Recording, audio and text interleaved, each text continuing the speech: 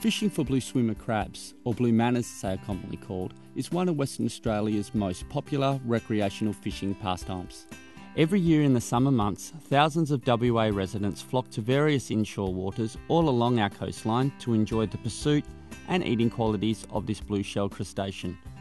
Mainly targeted in estuaries and near shore waters, these crabs have a distribution Western Australia wide, but are generally targeted from Albany on the south coast to the Pilbara region of the north making this pastime a truly statewide activity for recreational fishers.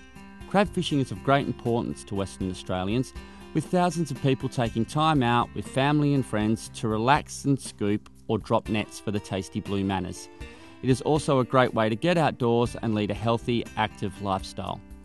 With so many people on the water each season, it's vital that all fishing rules are adhered to so stocks remain plentiful for years to come. The legal minimum size for blue manna crabs is 127mm across the widest part of the shell.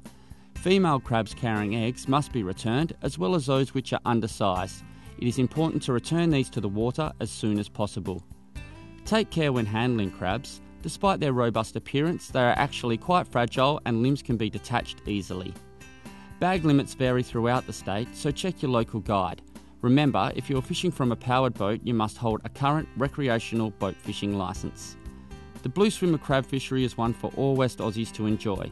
It is also up to us to protect and conserve this precious resource for the years to come. So before your next crabbing trip with family or friends, ensure you know the rules and remember to fish today for tomorrow.